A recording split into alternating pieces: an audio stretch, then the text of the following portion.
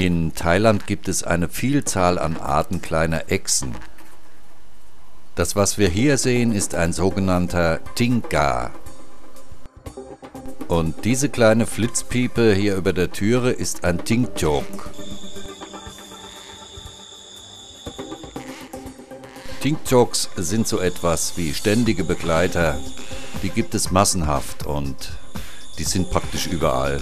Das sind überaus flinke, aber auch sehr, sehr scheue Tierchen. Um einen solchen Tingtok mit bloßer Hand zu fangen, reicht das menschliche Reaktionsvermögen nicht aus. Die Tierchen sind zwar auch tagsüber überall zu sehen, aber die richtige Jagdsaison der kleinen Echsen beginnt erst mit Einbruch der Dunkelheit. Wie auch ihre Beute sind sie da hauptsächlich in der Nähe künstlicher Lichtquellen zu finden. Dort lauern sie kleinen Insekten auf und schnappen bei passender Gelegenheit blitzschnell zu. Manchmal geben sie schwache Laute von sich, so ungefähr.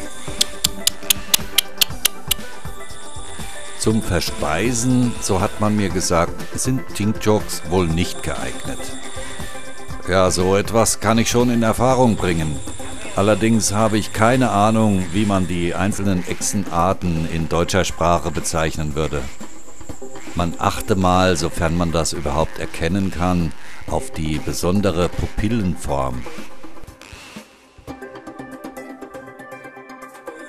Zugegeben ist es weniger spektakulär, solche Tinkjoks vor die Fotolinse zu bekommen, als vielmehr meinen persönlichen Favoriten von der Mini-Alligatoren-Fraktion.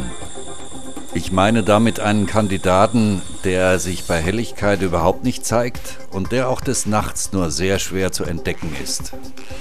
Die Rede ist hier von einem Docke, der nach seinem spezifischen Lautruf benannt ist. Vor sechs Jahren ist es mir gelungen, einen zu filmen, allerdings hat er mir nicht den Gefallen getan, seinen Ruf von sich zu geben. Okay. Er macht's einfach nicht. Ja, so habe ich ihn damals imitiert. Diesmal hatte ich mehr Glück und habe den Originalton in Verbindung mit Lichtbildern von diesem Prachtkerl.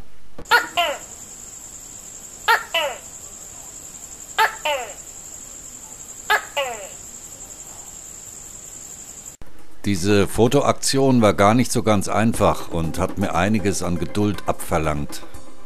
Ich habe meinen Kameraden zwar immer rufen hören, wusste aber nicht genau, wo er sich aufhält. Anfangs hatte ich ihn in diesem Kanunbaum vermutet, habe ihn aber dann am Traufgesims unseres Hauses entdeckt. Der Dockey-Ruf kündigt sich vorher meist durch so ein gewisses Schnattern an.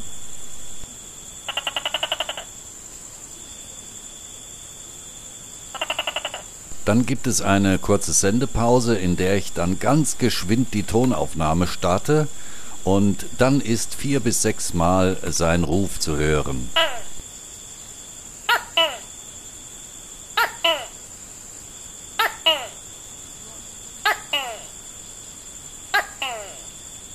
Bis er seinen Ruf nochmal wiederholt, kann eine halbe Stunde vergehen.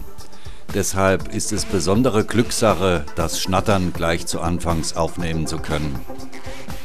Zum Videofilmen ist es an dieser Stelle zu dunkel und entsprechende Beleuchtung würde ihn vertreiben.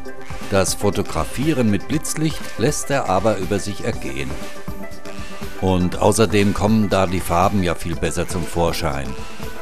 Hier habe ich jetzt mal eine Nahaufnahme um auch die besondere Pupillenform des Doggays erkennen zu können.